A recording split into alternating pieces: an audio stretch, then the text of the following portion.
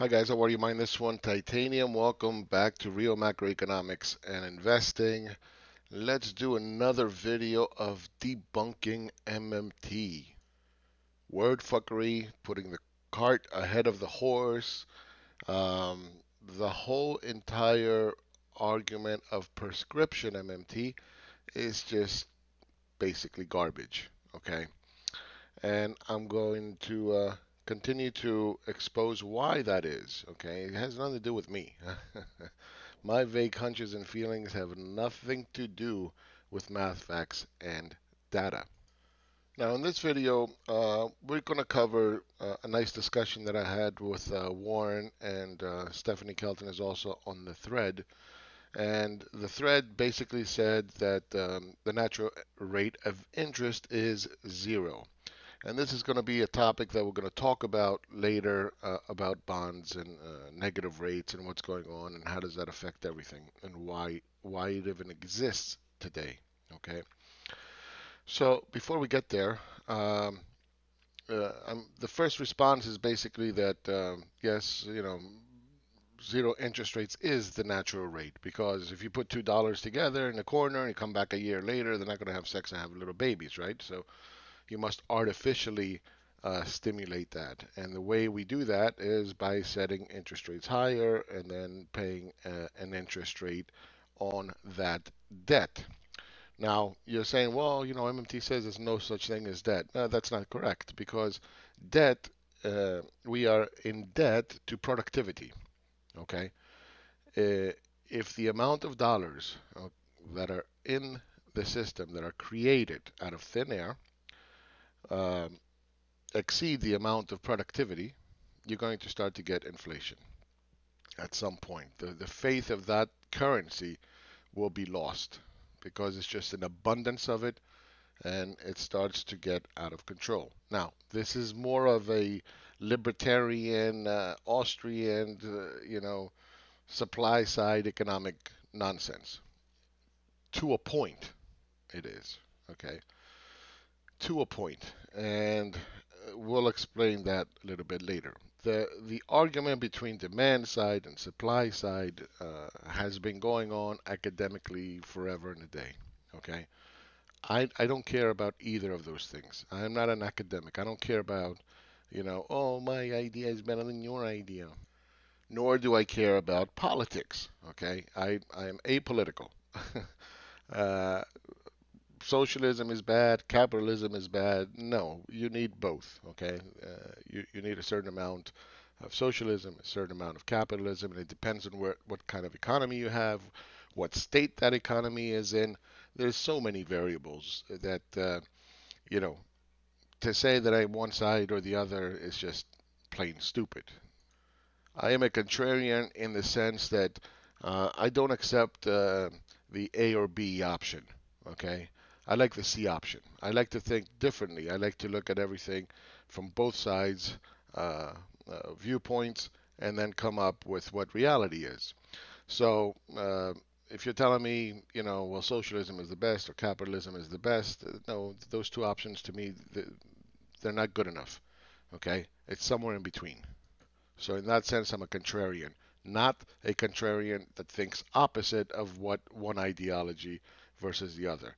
Okay, that's not a contrarian. That's most people think it is, but it's not. Uh, a real true contrarian is an independent thinker that is not usually not very popular. So now that we got that out of the way, um, so when they say that you know rates being this, first of all, the, right now we have 15 trillion dollars in negative rates. We have 30 trillion dollars of uh, rates that cannot even meet uh, that nation's uh, inflation. Okay, so they're underperforming inflation. And there's total, I think, 52, 58 trillion dollars of bonds in the world. Okay, so what's going on now? If you look at the yield curve across the planet, we're starting to, to, to do that flattening out. And what happens is that affects banks. They borrow at the short end, they lend out at the long end, and if it, the short end is 1% and the long end is 4%, they're making 3%, and that's a lot of money, and they're happy. And they're more willing to lend um, to the private sector. Now, MMT is against this uh, uh, uh, banking, independent banking, even though they acknowledge that banks are agents of the government, right? They create their own money. Loans create deposits, okay? But MMT doesn't want it that way. What MMT would prefer is zero interest rate policy, ZIRP. And ZIRP does a couple of things for them. First, it, um, it, it puts the banks in a position where they cannot make money, so therefore they have to be controlled by the government. And what is consistent with throughout MMT, and you're going to see that in, the, in, in my post here, is that they want the government to control everything. Basically, the Soviet Union, okay, USSR days. Um, another such example, uh, MMT, right, wants to set the price of wages, right? So they say, well, we'll give you a job guarantee. Okay, it's not really jobs. It's not a job guarantee does not require any skills. Okay, and no training. You just go into this program, you punch in, you punch out, you I don't know, plant flowers, peel gum off the street, do something that is really not productive and does not increase the productivity of the economy, uh, and the government just gives you $36,000. They give you full benefits, and you know, along with that, obviously, you go out and get a credit card, put yourself in debt, and uh, a, a, state of third world uh, untouchable uh, class, uh, as we've seen in the past in India, right? The untouchables. So now we have these big silos with humans in it, uh, waiting for the private sector to come and snatch them um, up and uh, give them a job that hopefully is going to pay them more. The problem is that you know when you put a job guarantee, which is not a job, it's a welfare uh, system. When you when you do that, what happens is everybody that's you know right above that pay wage, uh, those wages are suppressed. And that's what they say. We anchor inflation. Yeah, you anchor inflation by suppressing wages outside of the job guarantee. So now we have that the government is going to set zero interest rates. It's going to control the banks. It's going to control labor. It's going to control wages, um, which brings us to healthcare. Then the government is going to control healthcare as well. And of course, the Green New Deal, right? The government will control energy as well. So the government is controlling everything. This is this is uh, you know uh, again Soviet Union, USSR. Hello, com- comrade. Welcome to America. So now let's go back and let's talk about where they start, right? Because they'll, they'll, they'll, feed you in small little pieces, and you agree to the small little pieces, and in, in the whole you end up as Soviet Union. So here's the zero interest rate policy, where uh, Warren Mosler is uh, debunking the Fed, okay, that they are uh, useless basically. So let, let's hear him. And here we go. Let me move this over. Let's go the Federal Reserve has never gotten us into a recession, and they've never gotten us out. It's just what they do has like no effect in the economy, at least not what they're trying to do. So when they're supposedly tightening, that never slows the economy down. When they're supposedly stimulating, it never picks up. And you know we've been saying this for a long time that, that monetary policy just plain doesn't work. It's a tool that's not connected to anything. It's a little kid with the car seat with a steering wheel who thinks he's driving. Why does it have so much credibility then, Warren? Like you know, people often point back to the Volcker days and yeah. Alan Greenspan, yeah. and they say, "Well, no, the Fed's very powerful." And my gosh, I mean, the Fed is in our headlines yeah. virtually every day, Warren. Yeah, well, you know, I've been saying for a long time it's just a mistake. You know, they've mistaken correlation and causation. They're not controlling anything. And if you look back at uh, Volcker's times, it was what brought the inflation down. Well, oil before his yes, he raised rates, but the price of oil dropped from like 40 to 10. Now today, if that ever happened, we got that big of a drop of oil. Let's say it dropped from um, you know, where it is now, 60 to 15. We'd have a massive deflationary event. Right. Okay, CPI would be negative for months, year over year. Okay, so you heard him from the horse's mouth that uh, the Fed is just a, a child driving uh, with a steering wheel, make it pretend it's driving. Well, if you believe that, then you know I got a bridge to sell you. Now, what's funny about the way MMT does things, they say, well, the Fed is ineffective. They're no good. They're, not, they're crap. Okay. the next thing they would tell you is that the Fed controls interest rates. Okay? The Fed sets interest rates wherever it wants. So, again, we go back to my previous videos word fuckery, double talk. This fits here whenever I want it to, depending on the argument. This fits over there whenever I want to, depending on the argument. And it's just a word salad of bullshit. So, let me debunk something for you MMTers. Let me debunk something. The Fed set interest rates at 2.5%. Okay. The 10 year went as high as 3.25, and today it is at 1.73, and it went as low as uh, 1.60. Who controlled this interest rate? Certainly not the Fed. It is the free market okay, that controls interest rates, and that's why we have bonds uh, the way we do. Okay, now you can argue that we don't have to have bonds. You, we don't have to have a lot of things, but that's that's not the point, right? The point is that interest rates are set by the market, and typically in a strong economy where the Fed sets interest rates is where rates go, right? So uh, that has that does not mean that the Fed is ineffective. They they're just a little child. They're uh, you know they're crap. They're this. They're that. Okay. So now that we got that out of the way, let me explain how the Fed used to work. Okay, and I'll explain why it doesn't work that way today. All right. So here's the uh, yield curve. This is the short end. This is the long end, 30 years. Some countries have 100 years. So what the Fed used to do was say, you know what, uh, the yield, and let's say this is 1% and this is 3% at the long end, the yield on the short end um, uh, is, is producing too much profit and banks are lending too much. What I want to do is I want to suppress the amount of money creation by raising the short end. I want to raise this. Okay, I'm going to make this 2%. So then the yield curve would look a little bit more flattish versus what it used to be. So it'll be 2% and 3%. So now the margin is, instead of being 2%, it is now uh, 1% of profit. So then the banks look at uh, the loans and they say, well, you know, this would this loan would have been fine if we had a 2% profit margin, but now we have a 1% profit margin. The, the amount of risk is not worth it. I'm not lending.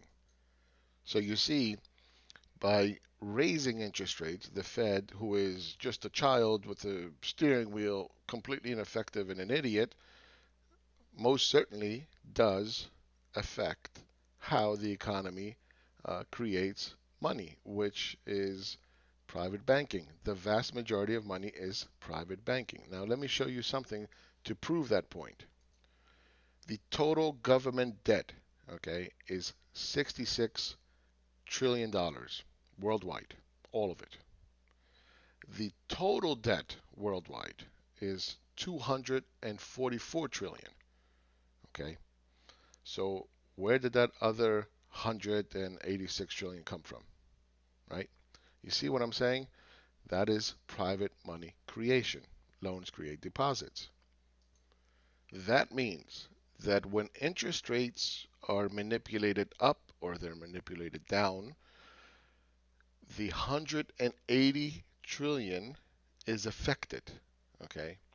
All of it is affected, whether it, be because of the, the bond, the interest that is earned on that bond, the, the opposite of of debt is savings, right? Our savings, and we'll get to that in a minute, right? So, so from the saver standpoint, it, it, it affects the savers. From the bank standpoint, it affects their profit margins, okay, and the amount of dollars that are lent uh, into the economy.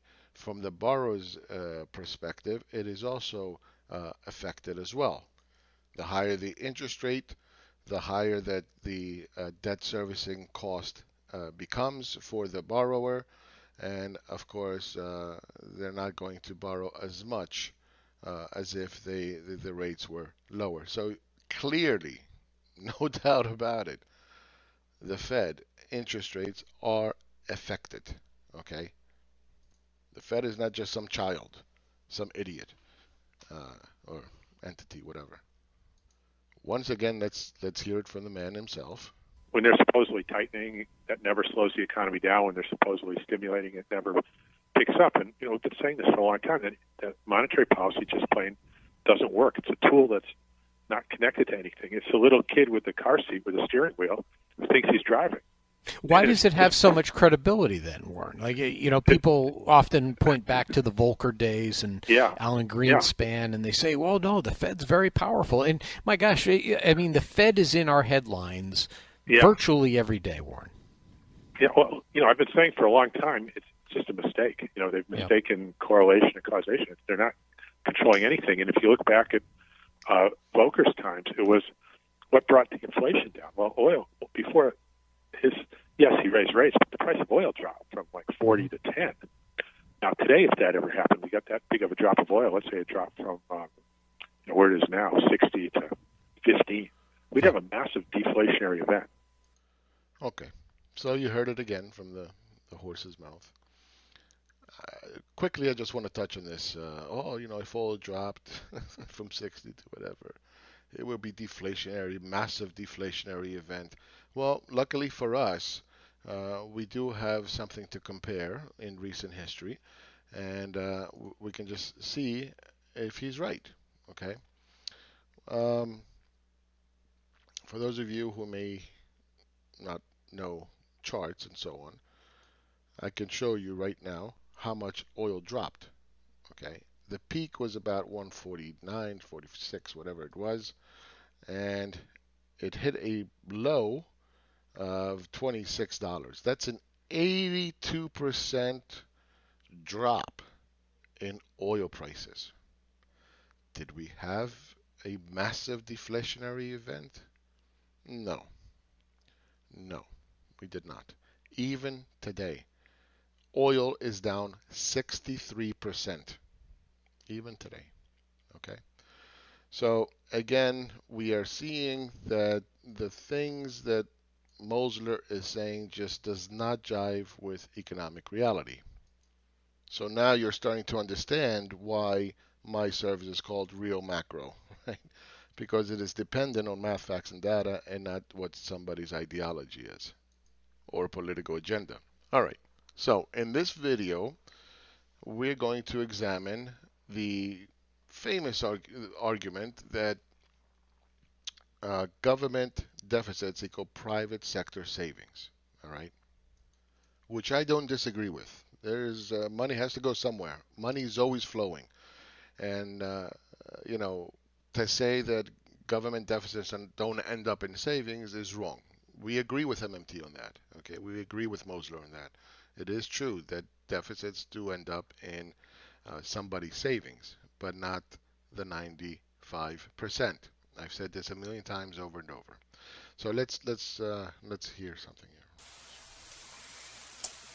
Deficit spending adds to our savings. I think I just said that. All right, let's pause right there. See this? See this word? Our, our, our. This is a this is a this is one of those trickery fuckery, uh, double talk kind of uh, words. Okay, this is fuckery right here there is, as I showed you before, $244 trillion of debt in the world. The opposite of debt is, of course, savings. We are not stuffed with savings. We, meaning the 95%. We are not stuffed with savings. So, if there's anything that MMT that is truthful is that you have to think on the uh, by by looking at the other side of the ledger. Okay, got to look at the other side of the ledger, and the opposite of debt is savings. But unfortunately, it is not our savings; it is their savings, the top five percent. Now, the argument that you're going to get is, well, you know, there's high powered money, there's vertical money, there's all this kind of different definitions of the word money, which in of itself, anybody that tries to redefine money, automatically they're bullshitting you. I'm telling you right now, it's automatic, right? Remember the, the libertarian Austrian crazies when they were telling you that government uh, uh, debt, uh, I'm sorry, government debt, that uh, real money was gold. Remember that, right? The, the fiat is worthless. I'm like, okay, if it's worthless, send it to me. But none of them did. So the, again, get back to MMT. MMT tells you, no, no, the only money that matters is uh, is uh, government deficits, government deficits, government deficits. That's high-powered money. That's high-powered money. That's vertical money. That's you know, right? But can you pull out a dollar from your pocket and tell me if it's a high-powered money or horizontal money, which that's what they call uh, uh, debt, uh, private money creation from banks, and they call it horizontal money. Ooh, right? Now, again, we're going to go with that word fuckery again, okay? That government deficits are high powered money and bank created money is not high powered money. Yet, here's the fuckery government agents are the banks. The, the banks are the agents of the government. So, what is the difference? Whether the, de- the, the deficits or the debt comes from the government or its agents. There's no there's no difference. All money is money. Doesn't matter if it comes from the government or its agent, the banks, doesn't matter. All money is money. If you understand that, you understand economics. And 244 trillion in the world is our savings, which is not our savings, and that's why people are upset, right? That we don't have enough savings. I don't think there's a soul on the entire planet that doesn't know what inequality is and why you know it's such a big problem and um, you know things are not going the way they're supposed to. Let's just put it that way. And if you go and Google it, you're going to find so many websites telling you about inequality, you know, the top 1% income growth and, you know, all this stuff. And this sucks and that sucks and everything sucks. Okay. So, um, $244 trillion into this and $66 trillion uh, into this, we have ended up with what? Inequality, right? You don't have to be a rocket scientist to figure this out. so the MMT proposal is that we continue to do what we are doing, okay, to fix inequality. Well, there's something wrong with that kind of logic, isn't it? But this is what they're masters at. They are masters at word fuckery. Our savings. So let's hear it again. Deficit spending adds to our savings. I think. I... Again, there you go. Fuck. I don't think it's adding to our savings. Okay, I think it's adding to their savings, and it's not. You know, well, I shouldn't use the word think. It is. Okay, it is. It's adding to the top 5% savings, not ours, theirs. Now, something that they they impress the um, uh, the everyday Joe Schmo, the unsuspecting, uh, you know, person on the street, the Joe Schmo, is the word "to the penny." To the penny gives a, an indication that there's such a high degree of accuracy in what I am saying. Okay, that's that's the word fuckery. So let's let's hear it uh, from the man himself. Reserves are cash, otherwise known as savings. And sure enough, last year savings went up by exactly that amount to the penny when you include all the non-government sectors. To the penny. See that? It's all to the penny. Well, again, let's go back to reality land. When there is four, uh, 244 trillion dollars, okay, of money in the world, of course, it's going to be to the penny because the government debt hits a record 66 trillion, 80% of global GDP, Fitch says. Okay? Of course it's going to be. That's like putting a, a glass, okay, at the bottom of the Pacific Ocean and saying, look, this glass is full to the brim, to the penny. It's so perfect how much water there is inside the glass. Yes. but outside the glass, it's, it's a fucking ocean, you know. So there's nothing, uh, you know, calculating the to the penny kind of. Uh, oh, look at this! Look how bright I am. I've calculated to the penny. Okay, there's none of that. That's just garbage. That's just again word fuckery to impress people that don't know economics and they think like, oh my god, wow, this is wonderful. MMT really knows its shit. Wow. God, this guy Mosler is smart. Yeah, okay, sure. Here's a chart. Uh, personal savings, which is the blue line, and red is the uh, deficits. And you know, this is the the deficits right here. The zero. This is a surplus here. Okay. What you'll see is since 1975 that the savings rate has gone down. Okay. Didn't matter what the what the if there was a surplus or a deficit. Doesn't matter. Okay. Since 1975, savings rates have gone down. In recent history, okay, since 2005 hit the bottom, it has been rising. All right. That's the, rea- the reality. And the reason that it's been going down since uh, uh, 1975 is because credit cards and credit became readily available to everybody. So the uh, people's savings was replaced by the avail- available credit to them. So their their savings became debt, right? Credit. And then that bottomed out in 2005, and the trend has reversed, and savings is finally starting to rise. And as a result, we have gotten a, a nice, slow, steady rise in the economy. Which finally brings me back to this nice conversation conversation we've been having, and this is typical of uh, Warren, where he'll uh, he'll um, text wall you. Well, he'll give you some big long, you know, kind of response with a link, and uh, or a very short answer, and then run away. Okay, he's like a little timid butterfly. Uh, and usually the the responses that he gives are cryptic, right? Nobody can really understand what he's saying.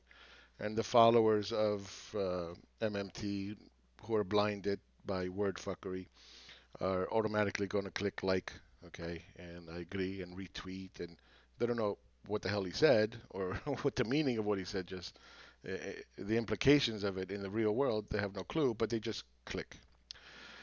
So uh, my response was America did not become the greatest nation on earth uh, following such economics.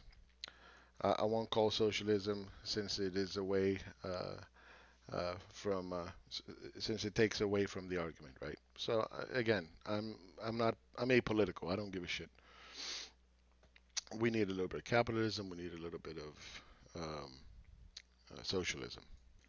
And in the next uh, post, I say, well, I'm, I'm not against, I don't disagree that the natural rate of interest is zero. It is. What I am uh, disagreeing with is that you know the government is going to set wages, the government is going to uh, give jobs, the government uh, will give health care, government will make make it all green, government will control production, government will control inflation. Okay, the government does everything. To me, that sounds like the Soviet Union, and we all know how that worked out, right? Didn't work out very well. Uh, in fact, the joke is uh, and I always tell this to my subscribers. Um, in fact, one of my subscribers told me, who who lived in the Soviet Union, says, uh, "You pretend to pay us, and we'll pretend to work." That's the Soviet way. And then Warren's response is, uh, as currency monopolist, via co- coercion taxation, it has necessarily been that way all along, whether anyone likes it or uh, knows it or likes it or not. Okay here's the problem again with MMT. They start by putting money at the center of the economic universe. Okay? That money is value. And I've mentioned this before in a, in a video. No government can print value. Value can only come from the private sector. Okay? Production. That's where money comes from. So what happens is by MMT framing something that the government must first deficit spend in order for money to exist. Okay, therefore, the government is the creator of value. See, that's the way the brain thinks. And the reason it thinks like this is because when you pull out a dollar that you worked for and you produce something for profit and you get your share of income, right? And you go spend that dollar, it's value to you.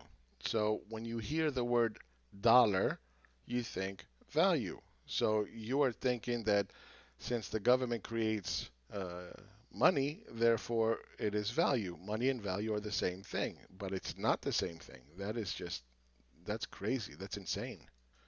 And that's why in the next post, my response to him, I'm reminding him it's the private sector that is the monopolist uh, uh, of production and wealth creation that makes it possible for the government to believe it can keystroke uh, or print value for a currency to pay for it. Okay, it's not it's it's not the way it is. It's the the center of the economic universe is the private sector production. Okay, that production creates wealth. That wealth allows the government to deficit spend. Okay, if your nation has no wealth left and you printed so much money that nobody gives a shit about it, nobody wants that bond that that is is an ownership of that wealthy nation or poor nation, okay, um, then nobody wants the bonds if it's poor. They're like, it's worthless, my friend. Keep your bond. I'm running away. What happens to interest rates? They spike. And that's how you end up in the situation of Venezuela. Okay? Nobody wants their money. They said, man, screw you. Give me dollars. I don't want your currency. Take it back. Take the bolivar back. Keep your bolivar. So what did they do? They kept printing and printing and printing bolivars.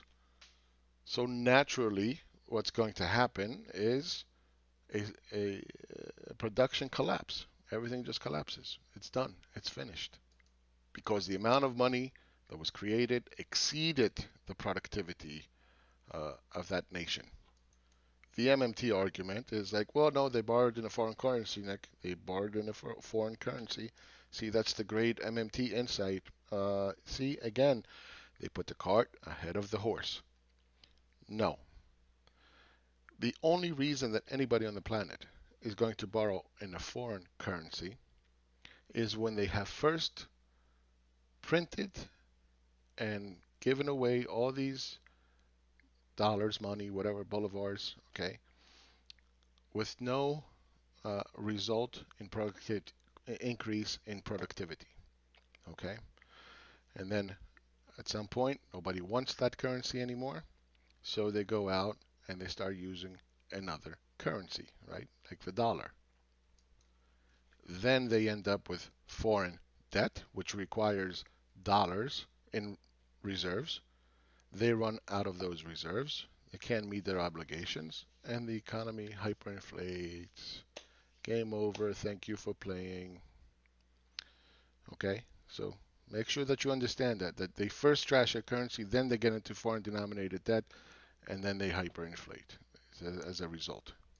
Because production did not keep up with the printing of money, and eventually nobody wanted that currency, and then eventually they borrow in a foreign currency, trying to pretend they have that, you know, production, and then whatever production that e- that economy had, okay, prior to to the hyperinflation, okay, uh, starts to collapse after the hyperinflation, and it gets worse and worse and worse, and it's game over. Thank you for playing, and that is why MMT is is not a valid economic theory. It's not because if you can go into Haiti or Bangladesh or any other uh, nation that is poor and you can just print up money, start counting the bodies in the unemployment line, and see if it improves, uh, it's not going to happen. Okay, it's not going to happen. You can't. You, the government cannot create value for a currency. Only the private sector sector can do that through production and wealth creation, which now makes me sound like a conservative libertarian teabagger, you know, live within your means, you know, uh, all this nonsense. Okay. Just like the these guys, these libertarians, like to use the word job creator, the creator. Okay. What Mosler is doing here is the opposite of them. It's saying the currency is the monopolist. Who's the the government is the monopolist of the currency. The government is the monopolist of value. Okay. it is through taxation that creates value for a currency. The the hut tax, as they like to uh, give an analogy, right? Uh, it's the same thing. It's uh, in reverse. It's just mind-boggling that you sit there and you look at the two crazies and you're like, oh yeah, it's a job creator. No, it's the monopolist, the government, the monopolist that creates value. No, it's the job creator. Both ideologies, both uh, political economic uh, theories are wrong. Okay, they're just wrong. It's just, just not the way it works. So then the next uh, post is, you know, again, drives me a little bit crazy. Uh, uh, he says, read the part about the uh, money story, which begins with the government desires to provision itself and so on. Yeah, so they've, they've made up this cute little story that uh, government will print money out of thin air to provision itself, then tax some of it back to keep value for the currency, and that we're all sitting running around like idiots to provision the government. Okay? And then whatever the government decides to leave some breadcrumbs behind, it's our savings, but we know it's not our savings. Uh, it's their savings, okay? And that's the little cute story that they like to put in a nutshell. So we can again easily debunk this. We can go back to the euro when it was created. Uh, according to MMT, okay, cute little story. Everybody sat around, did absolutely nothing okay, just waiting for the government to print euros so they can go out and provision the uh, uh, the government. And uh, you know, if they didn't tax some of it back, their huts would be burned down, and uh, and then you know whatever crumbs they leave behind, we're all lucky, and it's our savings, but it's not our savings, it's their savings. And if we just do more of it, we're gonna ha- they're gonna have more savings, and we'll all be saved. It's trickle up economics. That's all it is. Trickle down economics was bullshit, and now this is trickle up economics equally as bullshit. These are all word fuckeries. That's all this is. Okay. Um, the next post I uh, uh, I put here is the private sector, the monopolist of production, value, and wealth, has, is, and always will be at the center of the economic universe because that's how it is. Okay. Uh, it's an axiom. You cannot have an economy um, without people producing. Okay, it's just not possible. If MMT was right, and the act of printing money and taxation and provisioning the government doing nothing created value, we can all just sit home, okay, play on our video games on our couch, and everything would be fine. just print, you know? Why the hell I gotta go to work? I'll just go punch in a clock, punch out a clock, uh, get that job guarantee. You know, give me that thirty-five thousand dollars a year, full health benefits, and uh, no skill required, no training. So fuck, I don't have to do shit. Get some credit cards, and uh, you know, life is good. You see, when you take the the idea to its to its natural conclusion, it doesn't make any sense. Okay, that we all can just be on a job guarantee. That uh, you know we can take MMT and implement it in Haiti, you know, or Bangladesh and uh, some poor country, and uh, create uh, economic wealth. You know, that is why the the um, MMT cannot ever work in any other nation on the planet. It goes after very rich, wealthy nations um, that have a lot of uh, wealth and money that they uh, they can implement, and they can run it for a while, and just watch debt to GDP continue to rise, debt to assets and wealth continue to rise, print, print, print, print, print, until finally you reach that point um, that uh, is going to take it into hyperinflation. In the case of the U.S., the U.S. has 155 trillion dollars in wealth. Okay. That's that's our wealth. What is our uh, public debt? Well, it's 22 trillion. All right. High five, man. Let's go. Let's start printing. Let's start printing until we get to that 55. And it's not going to be 55, right? At some point along the way to 55 trillion.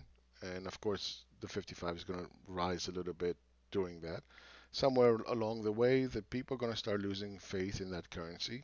Okay, as we hit uh, you know, 50, 70, 90, 110, 120. I don't know where exactly that point is, and nobody does.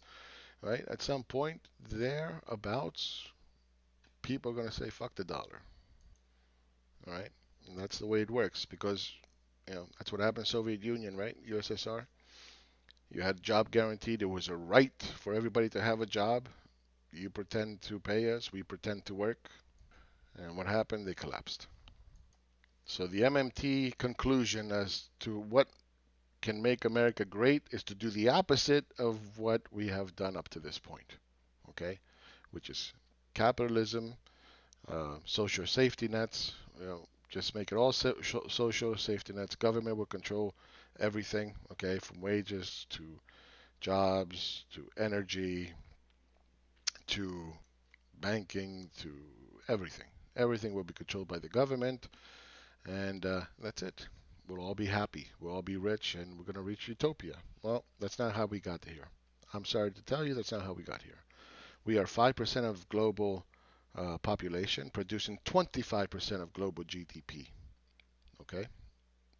25% of global GDP, just 5% of the people.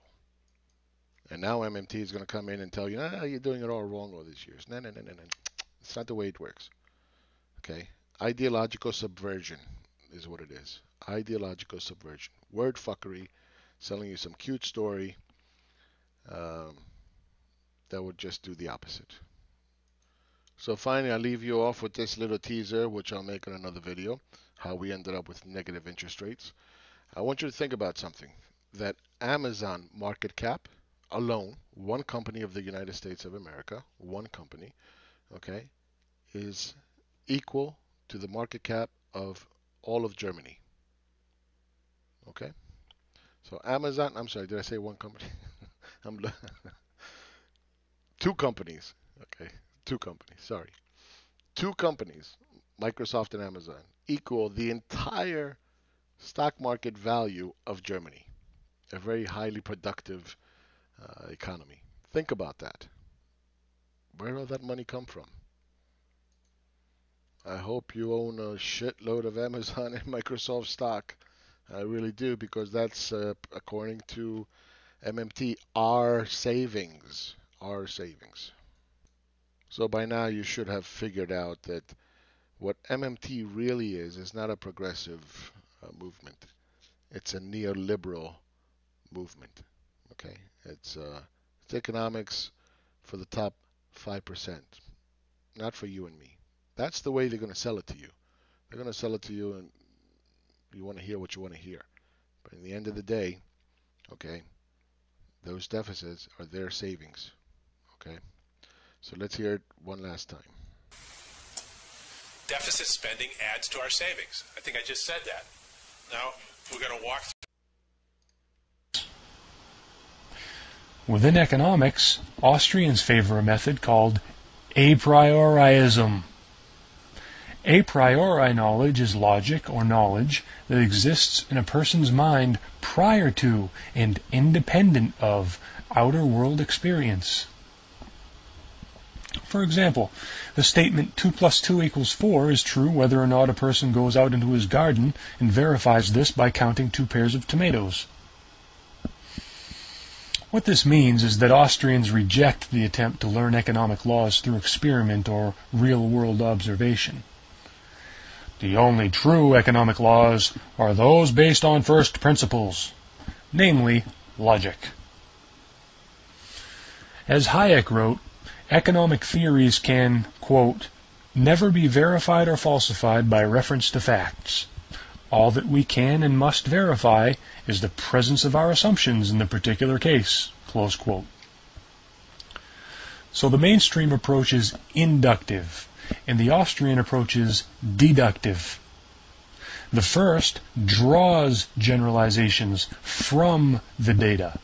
The second applies preconceived generalizations to the data. A completely deductive approach is pre-scientific, however, which is why Austrians cannot legitimately claim to use a scientific method. Before this battle is over, the world will know that few stood against many